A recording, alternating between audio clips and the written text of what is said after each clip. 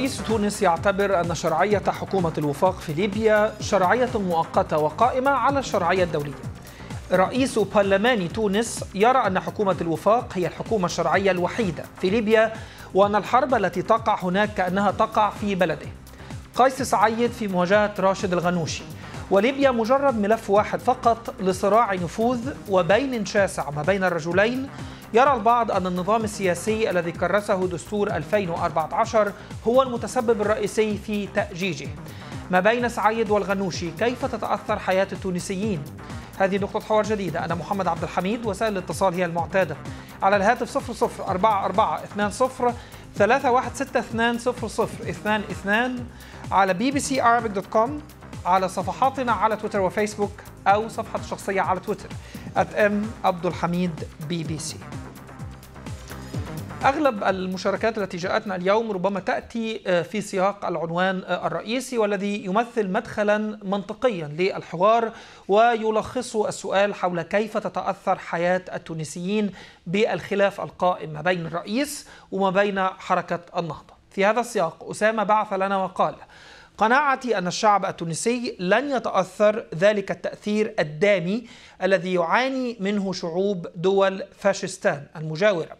فالديمقراطية وفقا لأسامة في تونس كفيلة بالسلم الاجتماعي ما بين قطبي المجتمع. جواد أبو علاء كتب لنا وقال بالتأكيد تأثير هذه الخلافات سيكون سلبيا على طرفي الأزمة وكذلك على الشعب التونسي الذي ينشد السلام والاستقرار في ربوع بلاده. بالتأكيد ليس أسامة أو جواد فقط ولكن سنستعرض الكثير من الآراء التي وردت إلينا أونلاين. لكن أيضا أرحب بعدد من المتصلين أبو محمد أبو بكر ونجاة. أهلا بكم جميعا. أبدأ مع نجاة. تتحدث من تونس. يا نجاة أهلا وسهلا. هل لدينا خلاف حقيقي تعتقدي ما بين الرجلين؟ ما جذور أو طبيعة الخلاف من وجهة نظرك؟ شكرا جزيلا شكرا كل الشكر لقناة بي بي سي. نحن في تونس في نظام شبه برلماني وهو السلطة هي الأقوى التي يجب احترامها بأن الصراع بين حركة النهضة ورئيس الجمهورية غير موجود على الأرض الواقع غير أن ما يحصل الآن هو تكتيكات مفاوضات سياسية التي سبق تشكيل آه، حكومة والتي تحاور فيها كل الأطراف الخروج بأكثر نقاط لفائدتها. بمعنى ماذا؟ يعني ما الذي قد يقود إليه هذا الخلاف؟ آه، وكيف يمكن أن يفيد هذه المفاوضات السياسية؟ المفاوضات السياسية هي ما داخلية صراع آه، ما بين الأحزاب وبين رئيس الجمهورية. رئيس الجمهورية هو القائم الذات أما حركة النهضة الآن تريد أن ترد الفعل وتثبت أنها رقم صحيح في المعادلة السياسية خاصة بعد أن خذلتها في حكومة الجملي. تمام؟ بس ألا, ألا يمكن أن نقول أن فعلا الحركة لها وزن بالفعل في الشارع التونسي نعم. لماذا تحتاج إلى هذه المفاوضات أو هذه الأوراق السياسية كي تلعب بها الآن؟ حركة النهضة هي الحزب الفائز في الانتخابات التشريعية. تمام؟ والذي فشل في تمرير حكومة الحبيب الجملي في البرلمان. آه وتريد أن تشرك حركة النهضة حزب قلب تونس مشاورات وتشكيلة الحكومة التي يجب أن تكون وفق تعييراتها وحكومة وحدة وطنية. تمام؟ انما تحضيرات حركة النهضة تأتي ردا على خيارات رئيس الجمهورية المكلف من قبل رئيس الحكومة قيس سعيد. طيب أنا أشكرك يا نجاة شكرا جزيلا على المشاركة معي آه، آه، اليوم. ما زال هناك متصلين كثر لكن أرحب بضيفي عبر خدمة سكايب من آه، تونس آه، الأستاذ آه، مجدي بذينة عضو البرلمان التونسي عن الحزب الدستوري الحر. يا سيد مجدي أهلا بحضرتك. نجاة ترى أنه لا خلاف حقيقي ما بين حركة النهضة أو راشد الغنوشي وما بين المؤسسة الرئاسية. إذا وضعنا ما قالته في سياق التصريحات التي تكاد تكون متضادة بشأن ليبيا كيف نفسرها؟ أصلا نحن لا نفهم وكنا عبرنا عن ذلك سابقا أن كيف يتصرف راشد الغنوشي بوصفه رئيس للبرلمان وكيف أجرى اتصالات مع فائز السراج وكيف يتدخل في الشؤون الخارجية للدول الشقيقة والصديقة. كنا نددنا بذلك كنا قدمنا لائحة لتجريم أو للتنديد بهذا التدخل أو أي تدخل أجنبي في الشقيقة ليبيا بوصفها دولة شقيقة عزيزة على قلوب التونسيين امتدادنا التاريخي والحضاري والديني والمجتمعي وكله يعني يصب في خانة واحدة. كنا رفضنا كل ذلك. السياسة الخارجية اليوم هي من صلاحيات رئيس الدولة ورئاسه الجمهورية وذلك طبقا للدستور وبمفهوم القانون. اليوم نلاحظ هذه هي ديمقراطيه الأخوان. ديمقراطية تصب إلا في مصالحهم يعني يفهمونها كما يشاءون. ويستغنون عنها. متى متى شاءوا عن ذلك؟ منظرهم سيد قطب كان قال أن الوطن بالنسبة إليهم هو حفنة تراب نتن طيب بس هل, هل معنى ذلك أن رئيس البرلمان اللي هو رئيس البرلمان نحن نتحدث عن مجرد رئيس حركة النهضة الآن نحن نتحدث عن رئيس البرلمان لا يحق له أن يدلي بتصريحات تتعلق بأمور سياسية؟ اطلاقا لا يحق له ذلك بمفهوم العلاقات الخارجية، ليس له أن يدلي بأي بيان أو أي تصريح يخص البرلمان التونسي لأنه بذلك وضع كل البرلمان وكل وكل الحساسيات تحت يعني تحت تحت وصايته. ونحن لم نعطيه ذلك تفويض. نحن البرلمان فوضه العديد من النواب فوضوه فقط لإدارة البرلمان التونسي اداريا وقانونيا وليس له الحق في إصدار لا بيانات ولا اتخاذ مواقف بشأن دول صديقة أو أي أي كانت من الدول. بس هو ربما لجأ إلى ذلك أو كما يقول البعض أستاذ مجدي عندما خرجت التصريحات الرسمية وفقا لكثيرين عن المتوقع. بمعنى أن تونس يفترض أنها على الحياد أو تقول أنها على الحياد. تونس يفترض أنها معترفة أصلا بالحكومة المعترف بها دوليا حكومة طرابلس. ومع ذلك خرج الرئيس وقال إن هذه الحكومة ربما تكون شرعية بشكل مؤقت ليس إلا. فاحتاج الأمر إلى تصويب. نحن كما قلنا ونعيد نحن لا نتدخل في شؤون الدول. هذا كانت سياستنا ومنهجنا منذ الاستقلال إلى اليوم. لا نتدخل منهجنا كان دائما الحياد. لا لا نسمح لنا بس ما قالوا الرئيس قيس سعيد ألم يكن تدخلا؟ يعني عندما يقول أن الحكومة المعترف بها دوليا هي مجرد حكومة شرعية بشكل مؤقت. قيس سعيد أعطى من, من وجهة نظره طبعا لأنه حتى اتفاق الصخيرات يعطي الشرعية للحكومة السراج يعطيها ب ب ب يجب عليها يجب للسراج أن يأخذ شرعيته من من برلمان طبرق. وعليه يعني مع ذلك يعني الشرعية لم تكن في موجودة ب 100% طبعا. ولذلك بقيت هذه الشرعية نسبية مع كل التطورات التي نجدها على الأرض مع التطورات التي أخذها البرلمان العربي الذي ندد بالتدخل الخارجي في ليبيا. يعني كل هذه التطورات تجعل من من موقف قيس سعيد. يعني طبعا هو موقف يلزم الدولة التونسية. قد لقد لا, لا, لا نتوافق معه 100% لكننا اليوم صلب مؤسسة صلب مؤسسة الجمهورية التونسية ورئاسة الجمهورية التونسية لا نستطيع إلا أن طبعا ان ان نأخذ هذه هذا التصريح طيب. يعني ونعم. دعنا ننتقل لانعكاس هذا التصريح لأن هذا هو المهم الآن ليس التصريح في حد ذاته فيما يخص ليبيا ولكن ما دلالته هل نحن أمام انقسام حقيقي تعتقد ما بين المؤسستين وربما حتى حرب إثبات القوة ما بين الهيكلين الانقسام موجود منذ اليوم الأول الذي دخلنا فيه البرلمان. يعني لاحظنا ونلاحظ كل يوم وأن راشد الغنوشي يسعى إلى إلى الاستقواء تقريبا بحلفائه الذين يعول عليهم اليوم في البرلمان وفي الائتلاف الحكومي.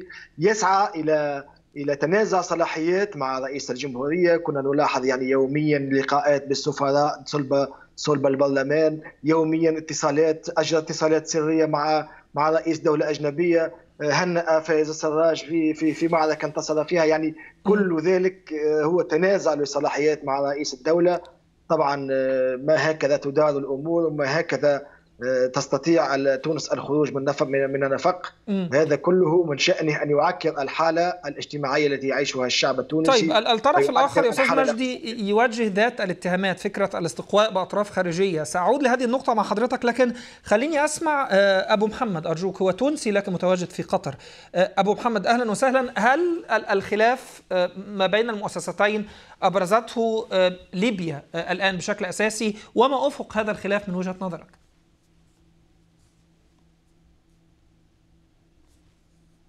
أبو محمد. أهلين السلام عليكم. عليكم السلام يا عزيزي أهلا وسهلا. تفضل. آه، مش- مشكورين جدا مشكورين. شوف أستاذنا أول شيء أنا نقول آه، يعني آه، من المفروض عندنا ثلاثة رئاسات حكمنا في تونس الشبه برلماني المعدل أو شبه رئاسي المعدل هو يفرض علينا يكونوا عندنا ثلاثة رئاسات. يعني هو هنا هناك تريانجل والمفروض يكونوا منسجمين في جميع القرارات الداخلية والاستراتيجيات الخارجية. واهمهم يكون الاقتصاد التونسي وكيفية النهوض بالاقتصاد التونسي. ولكن ما يظهر الحين ويتجلى للجمهور والمواطنين سواء داخليين أو خارجيين هو تأثر بالقوى الإقليمية الخارجية. وأعتقد أن القوى الإقليمية الخارجية دائما ما تحطش يعني ما تضع بيضها كله في سلة واحدة. وأعتقد أنه قيس سعيد رغم أنه كانت لدينا ثقة كبيرة فيه والخطابات الرنانة والكلمات مثل خيانة عظمى وغيرها وغيرها وغيرها جعلت الشعب التونسي يتجه في اتجاه واحد ولكن الآن بدات تنكشف الصورة الحقيقية. وأعتقد أنه البيضة التي أخفاها النظام الفرنسي في تونس لكي تنكشف حاليا لأنه منطقيا راشد الغنوشي بما يمتلكه من يعني من علاقات دولية ودبلوماسية له خطى ثقيله جدا طيب جيد لكن هذه الخطى هو يتخطى بها آه، آه، صلاحياته كذلك. كما استمعت إلى آه، ضيفي هو تجاوز اختصاصاته السياسة الخارجية. هي من اختصاصات الرئيس بالمقام الأول. هذا أولا. ثانيا فكرة الاتهام بالصلات أو العلاقات الخارجية. أول من يوجه له هذا الاتهام هو الغنوشي نفسه بعلاقات سواء مع تركيا أو مع قطر. أستاذنا أول شيء في فاصلة. بالنسبة للحزب الدستوري الحر وممثله لا يمكن أن يعطونا دروس في الديمقراطية والعلاقات الخارجية لأنهم لم يكونوا منها ولا يؤمنوا بالدستور الذي وصل من البرلمان. هذه نقطة ونرجع لموضوعنا الأساسي.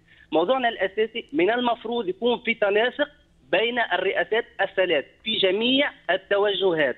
إحنا كتونسيين همنا الأساسي اقتصادي. والآن عندما نقول لا نتدخل في الدول لا نحن لا نتدخل في الدول ولكن ليبيا هذه وجهتنا هذا بعدنا الاستراتيجي هذا بعدنا يعني غدا إن شاء الله تركيا راح تكون عندها أسواق أسواق راح تحتلها كلها في ليبيا، نحن ماذا سنفعل؟ حدودنا المباشرة مع ليبيا، اقتصادنا من المفروض تكون هذه رؤيتنا،. رؤيتنا الاقتصاد مفروض تونس يعني ليبيا تونس الجزائر هي وحدة والمغرب موريتانيا مصر السودان هذه يعني المفروض تكون في وحدة الآن يعني هنا ناس تنساق وراء السيسي وراء أردوغان وراء مش عارف مين. يعني هذه كلها مهاترات. إحنا طيب يعني هو كشعوب- واضح من حديثك أن جميع الأطراف تتساوى في فكرة آه، الاستعانة بأطراف خارجية وهذه النقطة سأبحث فيها ربما حتى لاحقا يا أبو محمد. لكن خليني أسمع أبو بكر سريعا قبل أن نعود إلى ضيفي مرة أخرى. يا أبو بكر. السلام عليكم ورحمة الله. عليكم السلام يا عزيزي. تفضل. أهلا أخي عبد الحميد. والله يا أخي عبد الحميد آه، والله قد أقرب البلابل والفوضى في تونس. ثورة تونس اخذت الاستقلال تاعها سنة 56 900 ألف وهي في في الجنوب خاصة في الجنوب فقر وعدم تطور يعني آه، أنا أرى أن هناك فئة معينة من البرلمانيين والذين يحكمون تونس آه، ضد ضد كل تغيير وخاصة من الإسلاميين خاصة الإسلاميين. يعني عندنا تجربة في ح- في- في- في في في في, في مصر تجربة في, في, في, في تونس. هم لا يريدون هذا الحزب إطلاقا ويثيرون القلق والمشاكل والمصائب فالغنوشي حينما يصرح لو صرحوا هم من. هل يستطيع الغنوشي أن يقول لهم لا تصرحوا؟ يعني مو... يعني لاحظ لاحظ معي يعني هناك كيل بين مكيالين يعني يفعلون ما يشاءون يتصرفون ما يشاءون. يسنون قوانين آه، آه، خاطئة جدا في آه، في أمور كثيرة طيب أبو بكر أنا أشكرك شكرا جزيلا. أستاذ مجدي كنت تتحدث عن فكرة ال- التدخلات ال- الخارجية أو الإقليمية وبعض الأصوات خاصة الأصوات الشابة ترى أن جزء مما يحدث آه، هو أيضا ما يسمى ال- الثورة المضادة التي هي مدعومة هي الأخرى بالكثير من الأطراف آه، الإقليمية. يشيرون كثيرا لبعض الأطراف مثل الإمارات. آه، مثلا وأن الأمر بمجمله كما استمعت حتى آه، على الهاتف هو محاولة لاستهداف الإسلاميين ليس إلا. نحن بالنسبة لنا بالنسبة إلينا كنا صرحنا وكنا قلنا عديد المرات أننا ضد سياسة المحاور. يعني بوصلتنا الوحيدة هي الوطن هي تونس وهي الشعب التونسي. بالنسبة إلينا حركة الإخوان في فرع تونس تعاملها مع المحاور ومع الدول الأجنبية واضح وبائن للعيان وهم لا ينفون ذلك. ممثل ممثل في دول عديدة وتنظيمات حتى تنظيمات إقليمية وإرهابية وغيرها. ونحن ننفي أي تعامل لنا مع أي دول خارجية. وبالنسبة إليهم كنا تحديناهم سابقا أن كل أجهزة الدولة تحت سلطتهم اليوم وإذا اكتشفوا اي أي اتصال أو أي تخابر بالحزب الدستوري الحر مع أي محور أو أي دولة فليتفضلوا وليكشفوا ذلك. أما أن يبقوا في كل في كل مرة يكذبون هذه الأكاذيب ولا يأتون بحجج فما عليهم إلا الانصراف نحو نحو العمل ونحو آه، فائدة الصالح التونسي والكف عن كل أي أي آه، عن أي علاقات من شأنها الإضرار بالدولة التونسية علاقات مع خاصة مع تنظيم الإخوان الذي اليوم نسعى إلى تصنيفه تصنيفا كتنظيما إرهابيا. يعني بالنسبة إلينا كل ذلك وسياسة المحاور هذه ستضر بالدولة التونسية وستضر عليها ستضرها على امتداد عقود قادمة. شكرا جزيلا السيد مجدي بذينة عضو البرلمان التونسي عن الحزب الدستوري الحر عبر سكايب من تونس. جزيل الشكر. ومباشرة أرحب بضيفي التالي عبر الأقمار الصناعية من تونس الدكتور محسن السوداني القيادي وعضو مجلس الشورى لحركة النهضة. دكتور محسن أهلا بحضرتك. حركة النهضة أو على وجه التحديد السيد راشد الغنوشي متهم بخلق دبلوماسية موازية تضعف المشهد السياسي بالمجمل في البلاد وتضعف الرئيس أيضا. هذا الاتهام من الصعب جدا. نفيه الآن إذا نظرنا لتصريحاته الأخيرة بشأن ليبيا.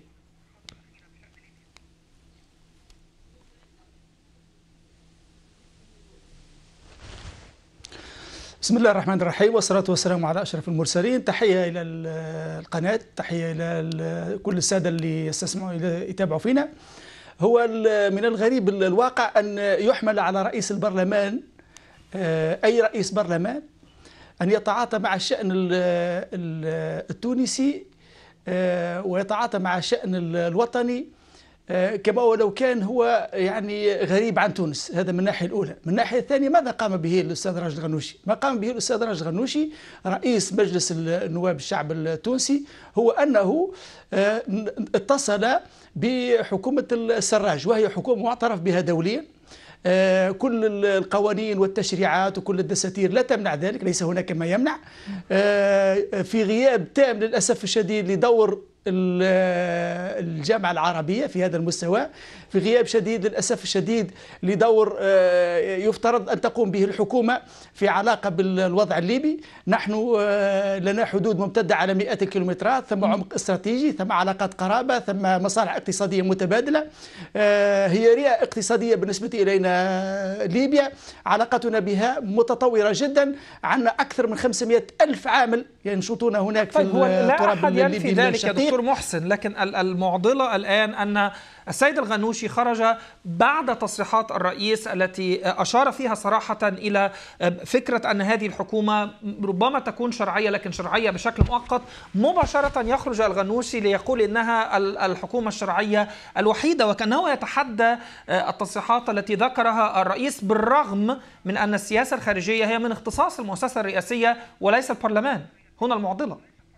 لا هي لا, لا هي ليست حكومة شرعية مؤقتة هي ليست حكومة مؤقتة هي حكومة شرعية معترف دي, دي وجهة نظر حضرتك لكن وجهة نظر. الرئيس دي وجهة نظر حضرتك لا لا لا لا, لا العفو العفو العفو العفو لا لا يا. دكتور محسن لا وجهة العفو العفو سؤالي سؤالي. ليس في التصريحات في حد ذاتها سؤالي أن رئيس الجمهورية الذي يفترض أن من اختصاصه آه، السياسة الخارجية خرج بتصريح على العلن يحمل مضمون ما رئيس البرلمان بالتبعية بعدها يتحدى التصريح ببساطة وكأنه يتحدى سلطة المؤسسة الرئاسية في أمر ليس من اختصاصه أصلا. لا ليس في ذلك أي تحدي للسيد رئيس الجمهورية. نحن السيد رئيس الجمهورية كنا من الداعمين الرئيسيين له في الدور الثاني للانتخابات الرئاسية ولم لم يكن ولم لم نكن موافقين على أن يكون رئيسا لما كنا انتخبناه أصلا ولما نظمنا حملة انتخابية لصالحه أصلا. هذا من ناحية أولى. حتى لا نحمل تدخل السيد رئيس البرلمان على أنه نوع من لي ذراع أو نوع من التدخل في شؤون السيد رئيس الجمهورية. علاقتنا به طيبة جدا. هذا من ناحية أولى. من ناحية ثانية ليس صحيح من أن الحكومة الحكومة الليبية حكومة السراج هي حكومة يعني مؤقتة هي وحكومه معترف بها من طرف المنتظم الدولي وهي الحكومة الوحيدة المعترف بها من طرف المنتظم الدولي. م. أن يكون للسيد رئيس الجمهورية موقف آخر ذلك شأن آخر. صحيح أن العلاقات الخارجية من اختصاص حصري دستوريا للسيد رئيس الجمهورية هذا مما لا شك فيه ولكن أيضا للبرلمان الحق في أن يتدخل. أنا كنت عضو برلمان في الدورة النيابية السابقة ل 2014 و2019 وكنت في لجنة تدعى سيدي الكريم لجنة العلاقات الخارجية لجنة الحقوق والحريات والعلاقات الخارجية. وكان دور أساسي ومهم جدا في العلاقات الخارجية. ومن المعيب نحمل على البرلمان أن تكون له أدوار في الدبلوماسية الخارجية بل أكثر من ذلك هناك لجان متعددة لها أدوار بالأساس خارجية في العلاقات الدبلوماسية. يعني هذا جيد لا يختلف عليه أحد لكن المعضلة عندما يتعارض هذا الدور وهذا التصريح مع ما قاله الرئيس. لكن عموما ال ال ال القضية ليست التصريحات الخاصة بليبيا لكن ما يشير إليه هذا الأمر من الفجوة ما بين المؤسستين. الرئيس نفسه لوح أكثر من مرة أن لدينا ما سماه اختراقات أجنبية للمؤسسات السيادية. وكثيرون يروا أن هذا التصريح بالأساس يستهدف مؤسسة البرلمان يستهدف راشد الغنوشي ويستهدف علاقته بالإخوان بالمجمل أو بتركيا وقطر على وجه التحديد. هو يجب الاعتراف بأن هناك ضعف أو محدودية في التنسيق بين الرئاسات الثلاث سواء رئاسة الجمهورية أو رئاسة الحكومة أو رئاسة البرلمان فيما يتعلق بالشؤون الخارجية. صحيح أن الدستور ينص على أن العملية الدبلوماسية هي حصر هي عفوا حصريا للسيد رئيس الجمهورية ولكن لا ينفي ذلك أن تتدخل المؤسسات الرئاسية الأخرى الثلاث الاثنتين الأخريين. أعني بذلك رئاسة الحكومة ورئاسة البرلمان. وعندما نتحدث عن رئاسة الحكومة ورئاسة البرلمان فهي مؤسسات دستورية ما في ذلك شك. هناك ضعف في التنسيق هناك ضعف في التشاور للأسف الشديد نأمل أن يتم أن يتم تدارك هذا الأمر مستقبلا. أما فيما يتعلق بالقول بأنه هناك اختراقات للمؤسسة الرسمية التونسية من طرف قوى أجنبية فأعتقد أنه كلام في حقيقة الأمر غير دقيق وغير جدي خلينا معناها نستعمل هذه هذا ما قاله الرئيس وليس كلام. يعني الرئيس يقول كلام ليس دقيق وليس جدي. نعم. لا لا لا لا ليس ليس دقيق. هذا الكلام ليس دقيق ليس دقيق. لماذا؟ لأنه في حقيقة الأمر المؤسسة التونسية سواء الحكومة أو الرئاسة أو البرلمان هي مؤسسات منبثقة من انتخابات شفافة ونزيهة وديمقراطية معترف بها من الجميع. هذا لا ينفي أن يكون لها صلات بجهات خارجية يا دكتور محسن. كلها منتخبة لا, لا ينفي أن يكون لها صلات بجهات خارجية. لا بالمطلق. لا بالمطلق لا بالمطلق. ليس هناك. قد تتقاطع بعض المواقف قد تتقاطع بعض المواقف لرئيس للسيد رئيس البرلمان أو لبعض الجهات الأخرى مع بعض المواقف الأخرى الإقليمية والدولية. ما في ذلك شك. ولكن لا يعني بالضرورة أن هناك تنسيق أو أن هناك اختراق من طرف هذه القوى الإقليمية أو الدولية للمؤسسات التونسية. بالمطلق. وإلا لكنا في حقيقة الأمر أي موقف يتخذه مسؤول ما في دولة ما يتقاطع مع قوى إقليمية أو دولية أخرى سنقول إن هذا الموقف مخترق. لا بالمطلق. طيب. هذا هذا من ناحية أولى. من ناحية ثانية العلاقات الدولية والإقليمية الآن على قدر من التداخل وعلى قدر من التشابك بحيث أنه يمكن أن تتقاطع بعض المواقف هنا وهناك فتحمل على هو السؤال الآن تأثير هذا التقاطع على العلاقة ما بين المؤسستين وعلى حياة التونسيين بوجه عام يا دكتور محسن. خليني أسأل بعض المتصلين هذا السؤال وأعود لحضرتك مرة أخرى. نجم الدين من تونس. يا نجم الدين أهلا وسهلا. هل لدينا خلاف حقيقي ما بين المؤسستين تعتقد؟ وما تأثيره إذا كان موجود على حياة التونسيين؟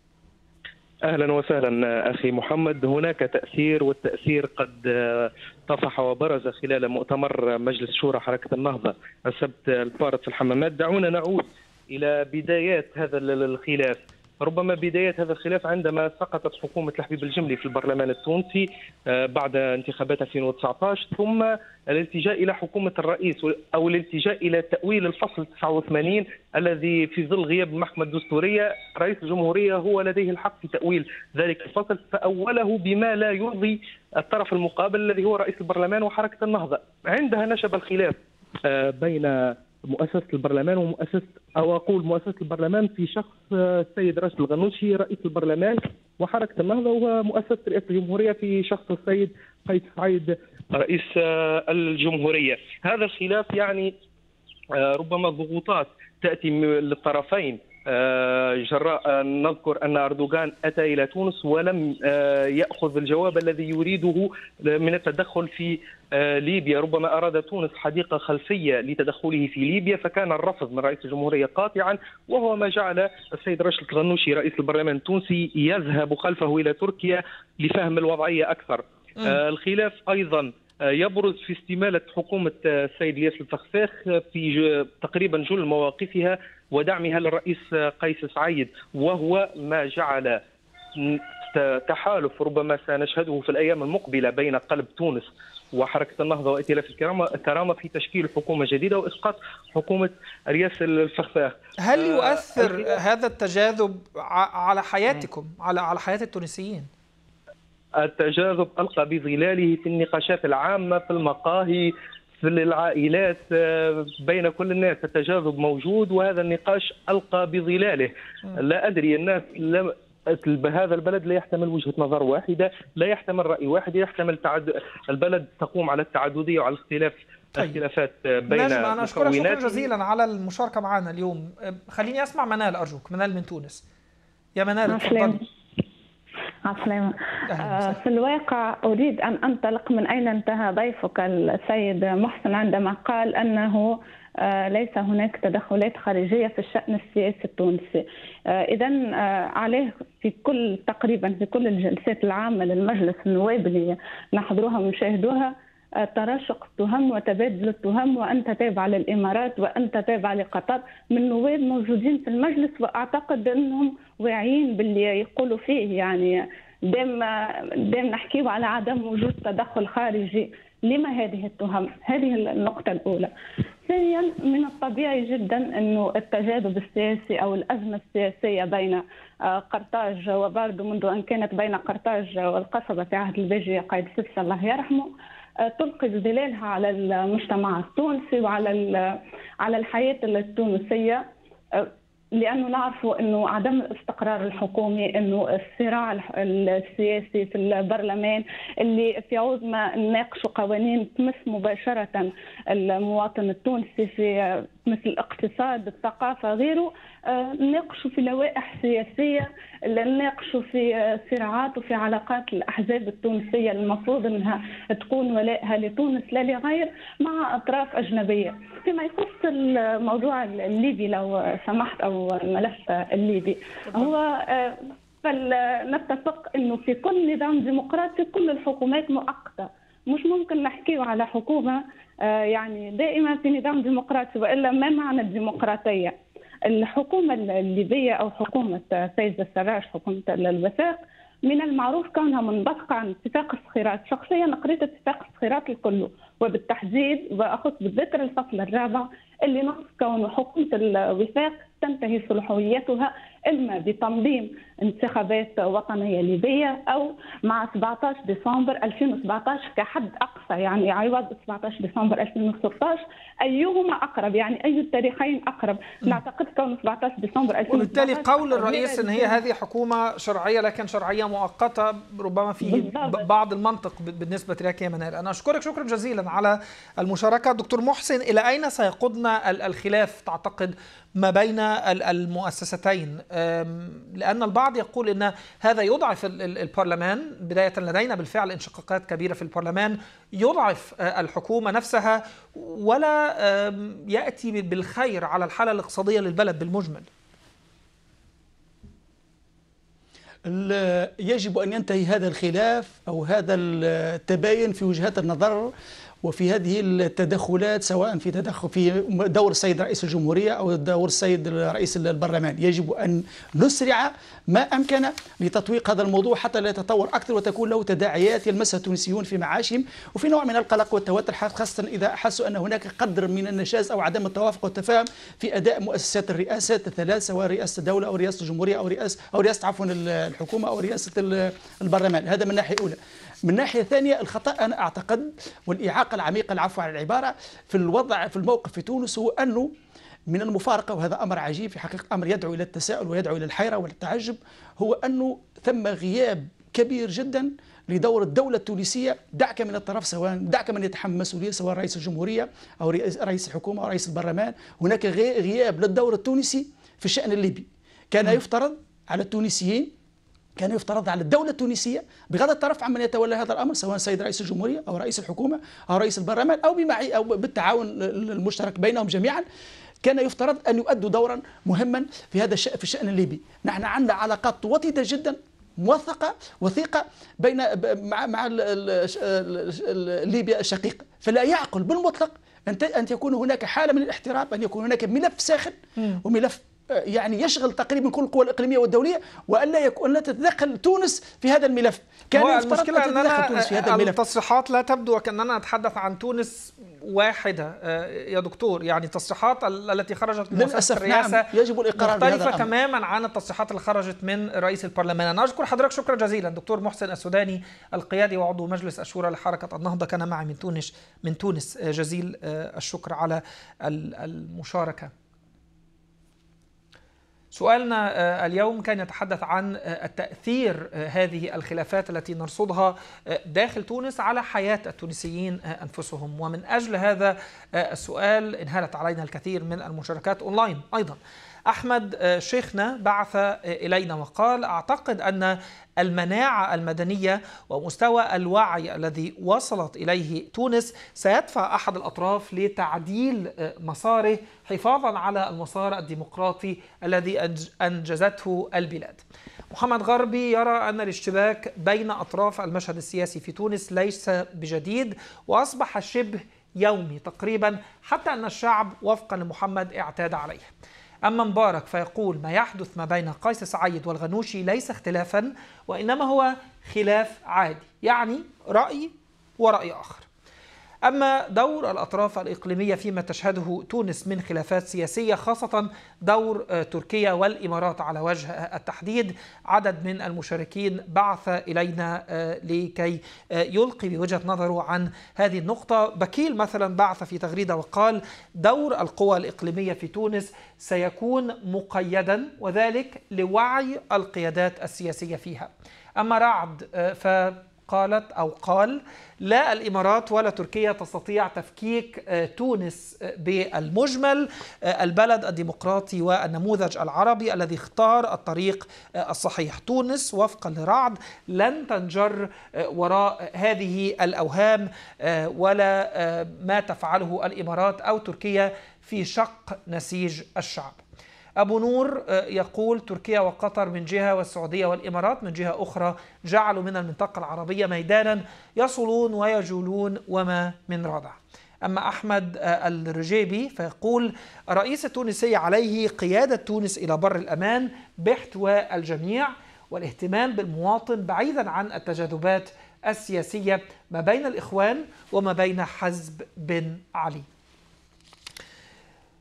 آخر رأي رأي نور الدين يقول احترام اختيارات الشعب التونسي في وادي وخطط محمد بن زايد وتدمير الشعب التونسي في وادي آخر. نور آخر الآراء التي سأعرضها أنا بشكل شخصي في البرنامج مما جاءنا أونلاين لكن المجال مفتوح طبعا خصوصا أونلاين على مدار الساعة لكي تعبروا عن رأيكم. الآن نتحول مرة أخرى إلى تونس عبر الأقمار الصناعية. ومن هناك أرحب بضيفي الدكتور أحمد إدريس رئيس مركز الدراسات المتوسطية والدولية ومدير معهد تونس للسياسة. يا دكتور أحمد أهلا بحضرتك خلال الحلقة. ربما استمعنا للكثير من وجهات النظر وتصل أحيانا إلى حد النقيض لكن دعنا نبدأ من المدخل من ليبيا على وجه التحديد والتصريحات التي جاءت بشأنها هل نحن أمام مجرد تصريحات عابرة أم إشارة لخلافات أعمق بكثير ما بين المؤسستين؟ هنالك طبعا فهم مختلف يعني للمؤسستين ولأطراف أخرى عديدة في في تونس للمسألة الليبية وللخلاف الليبي وللدور التونسي في في ليبيا. وهذا يعود إلى عدة سنوات يعني قبل التشكيل الحاكم اليوم. وتونس كانت دائما تريد الوقوف على خط فاصل ومسافة واحدة لجميع الأطراف في في ليبيا وكانت دائما تسعى إلى عدم الخوض في الصراع الليبي مباشرة. ولكنها لكننا اليوم نلاحظ بأن الأطراف السياسية الحاكمة سواء في رئاسة الجمهورية أو في رئاسة البرلمان أو في الحزب الأول في البرلمان هناك تمشي نحو أو نزعه نحو الدخول في الشأن الليبي وأن يكون لتونس موقف من الشأن الليبي. وفي الحقيقة كثير من الملاحظين يرون أن في في ذلك ربما خطر على على تونس لأن التدخل في الشأن الليبي واتخاذ مواقف صريحة وصارمة بشأن الصراع الليبي سوف يعتبر اصطفافا لهذا الشق أو ذاك في في ليبيا واعترافا ربما بشرعية غير الشرعية التي تعترف بها منظمة جاي. الأمم المتحدة حتى وإن كانت هذه الأخيرة تعتبر بأن هنالك شرعية الحكومة وشرعية البرلمان لكن ولكن بصرف النظر عن فحوى التصريحات نفسها يا دكتور الطريقة التي خرجت بها التصريحات وكمية التضاد ما بين وجهتي النظر جعل البعض يرى أن الأمر وصل ربما إلى حد التناطح ما بين المؤسستين على ليبيا صحيح طبعا. لكن هي ليست المرة الأولى التي نرى الاثنين نعم. على طرفي نقيض نعم وهذا وهذا بصراحة وبدون بدون أن يقوم أي طرف بالتغطية على على هذا الصراع، صحيح أن الطرفين يقولان بأن ليس هنالك صراع وأن هنالك تمشي موحد ولكن في كل في كل التصريحات هي تصريحات متضاربة وتصريحات تدافع عن مواقف مختلفة وبالتالي من من المؤكد يعني أن هنالك صراعا بين المؤسستين بين وخاصة بين مؤسسة رئيس رئاسة الجمهورية ورئاسة البرلمان. تصريحات الاثنين متناقضتان يعني و هل ذلك دكتور يعود إلى أن أحد المؤسستين تريد أن تهمش المؤسسة الأخرى ولا كما يقول البعض أن النظام السياسي أصلا الموجود الآن هو نظام هجين. يعني منذ دستور 2014 ربما كانت التوليفة التي خرجت لا تسمح لا بنظام برلماني صرف ولا بنظام رئاسي صرف. وبالتالي فكرة الحدود الفاصلة صحيح. ما بين السلطات أعطت هذه المساحة. صحيح صحيح.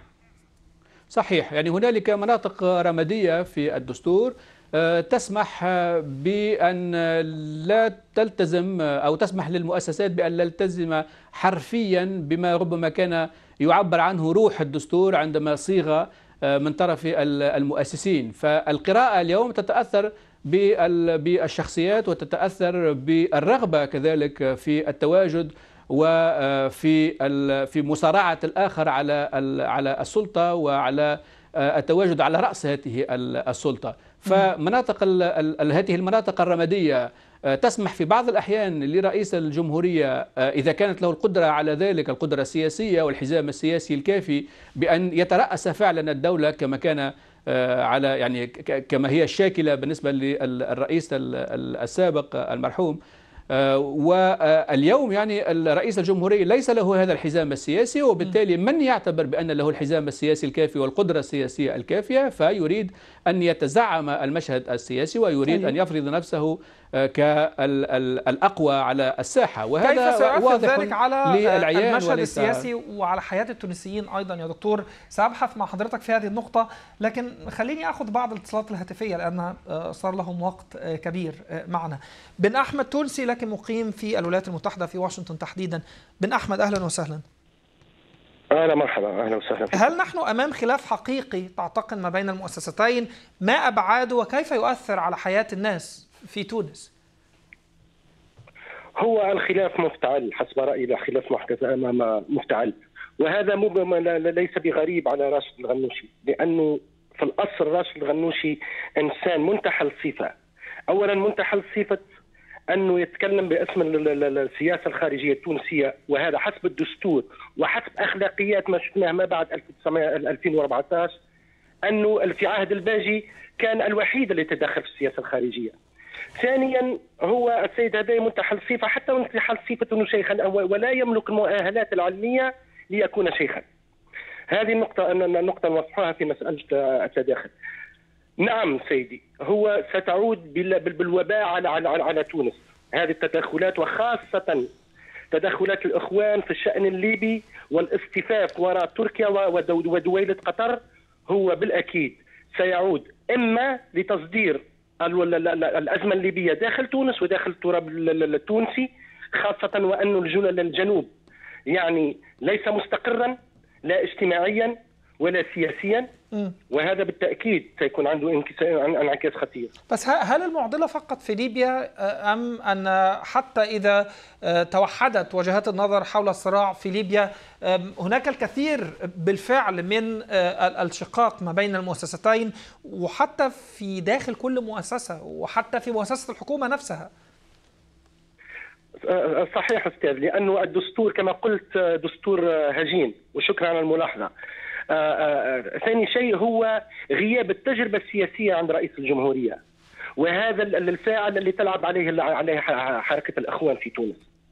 صحيح وهذا معترف به أن الرئيس لا يملك الخبرة السياسية. الحزام السياسي له من الحزام السياسي حزام سياسي قوي وهو وهو شعب هو منتخب رغم رغم لا أتفق معه في كثير من النقاط لكن منتخب ب 3 مليون فاصل. لذلك فهو رئيس له حزاما حزاما حزاما شعبيا قوي. أنا أشكرك شكرا جزيلا بن أحمد على المشاركة. فرج ليبي لكن مقيم في تونس.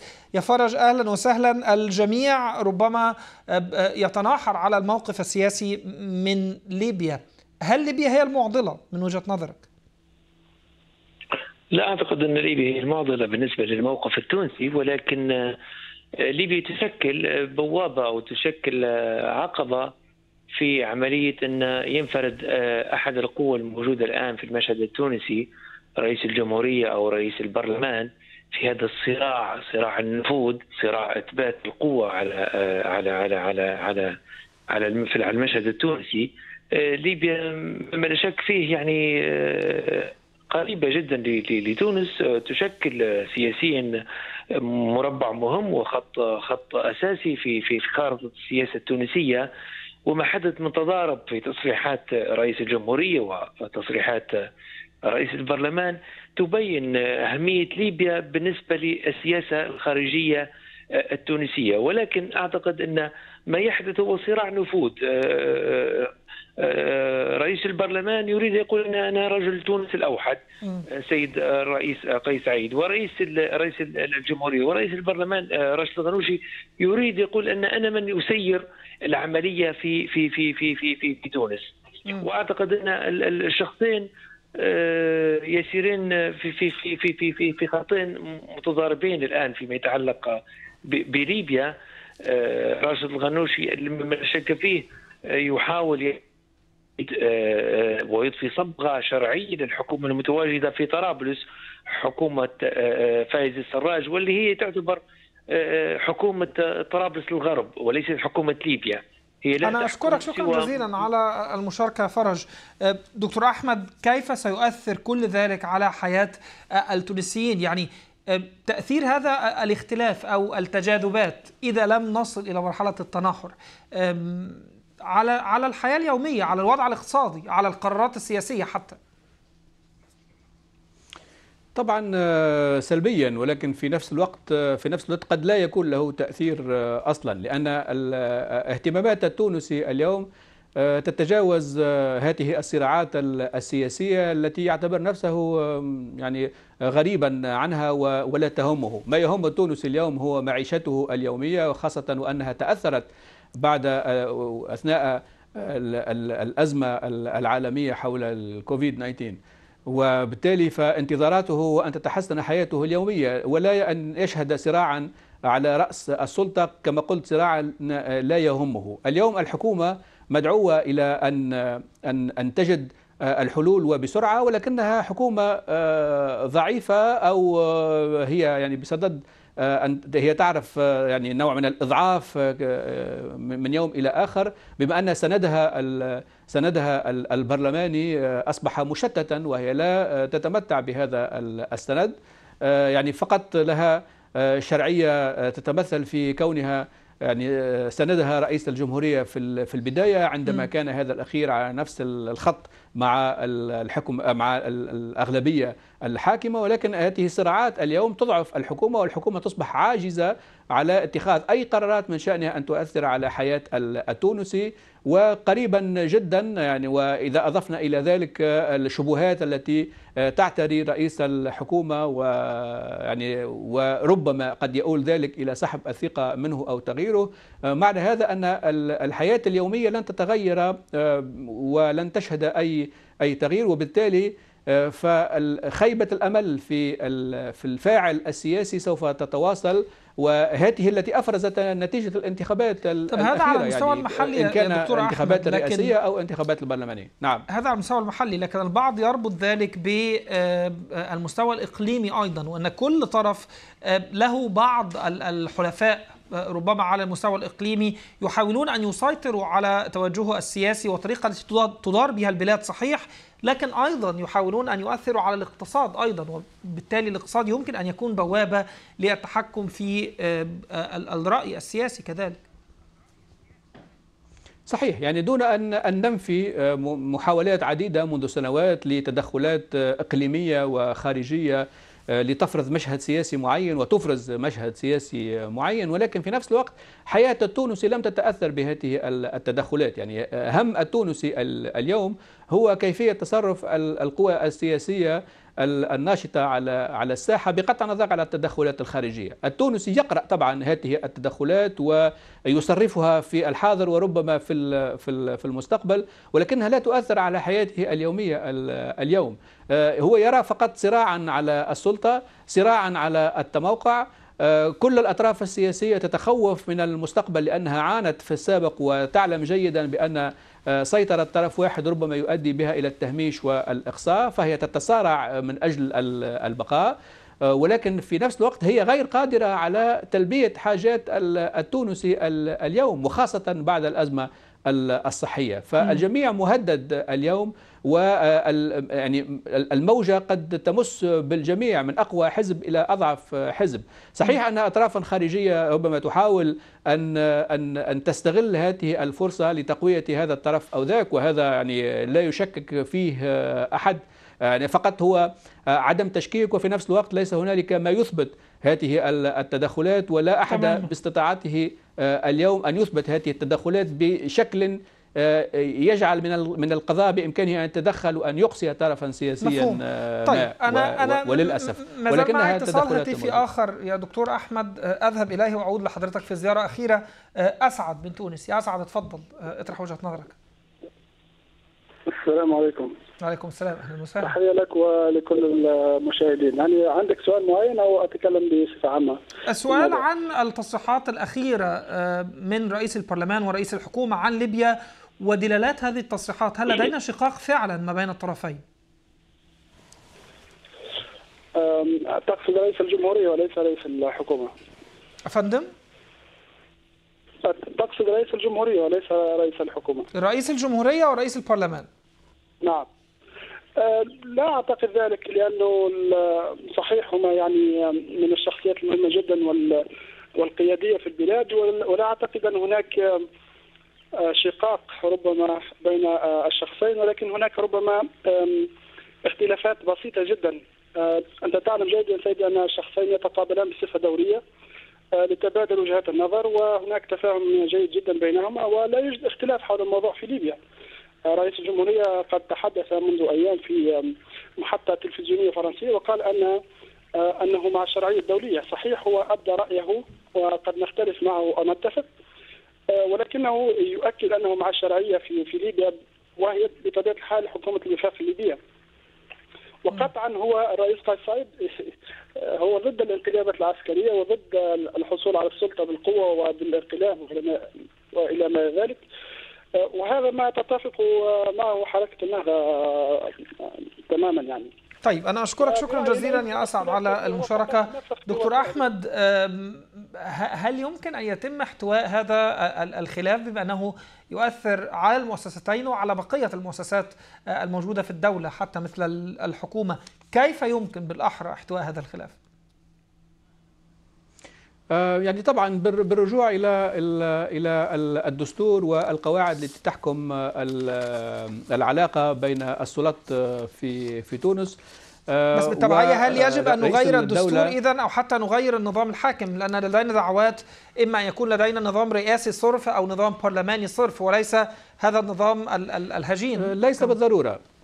ليس ليس ليس بالضرورة لأن هذا الشكل من من الأنظمة موجود في العالم وعدده يفوق بكثير عدد الأنظمة الرئاسية الصرفة أو الأنظمة البرلمانية الصرفة. فهو نظام تتحكم فيه عوامل داخلية ويجد توازناته في التوازنات السياسية الداخلية، صحيح أنها مؤثرة ومعطلة جدا في بعض الأحيان عندما. يكون في بداياته ويحتاج إلى يعني, يعني هل إلى أثبت إلى نجاحه تمحيص تعتقد يا دكتور وإلى في توازن تونس؟ بين هذه السلطات هل أثبت نجاحه هذا النظام آه في طبعا تونس؟ هو آه آه يعني آه هو لم لم تكن له الفرصة لكي آه يعني يعبر عن نجاحه بشكل بشكل دقيق لأن في كل مرة التوازنات تختلف. يعني من رئيس له شرعية شعبية ولكن ليس له سند سياسي قوي. إلى الرئيس كانت له سند سياسي قوي ولكنه كان في خلاف مع طرف سياسي له وزنه الكبير. فالإشكال كله في خلق هذه التوازنات وفي احترام قواعد الدستور بشكل بشكل حرفي بما يضمن له الاستمرارية، أما أن نشكك في فيه وأن نشكك في في توازناته دون أن نختبرها إلى الحد الأقصى ونريد أن نغيرها يعني بهذا الشكل السريع. نعم. فمعنى ذلك أننا سوف نمر إلى نظام آخر هجين قد لا يعطي النتيجة المطلوبة بل قد يعيدنا إلى الوراء. أنا أشكرك شكرا جزيلا دكتور أحمد إدريس رئيس مركز الدراسات المتوسطية والدولية ومدير معهد تونس للسياسة عبر الأقمار الصناعية من تونس. شكرا جزيلا الحديث له بقية. تحديدا يتواصل على راديو بي بي سي. معي أنا محمد عبد الحميد بعد. قليل